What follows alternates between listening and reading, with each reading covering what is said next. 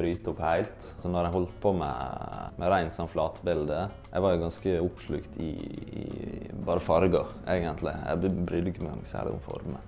På en måte prøve alle fargekombinasjoner og sitte der og, og, holde på innenfor det i en evighet, liksom. Men så blir det veldig mye man har lyst til å, å gjøre i tillegg, da. Men så kanskje man ikke tør helt fordi man, eh, man har hengt seg opp i det man driver på med.